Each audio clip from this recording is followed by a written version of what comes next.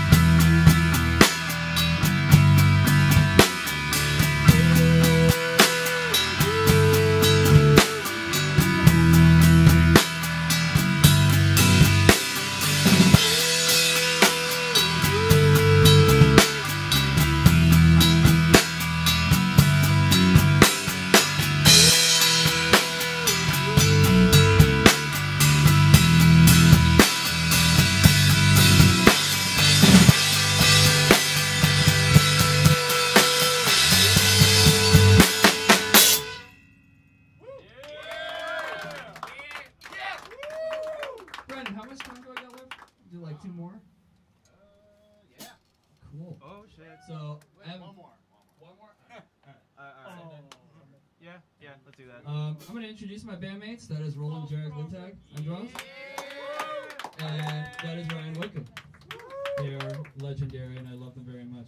This is a song about, uh, you know, paying attention to mental health. It's called Someday.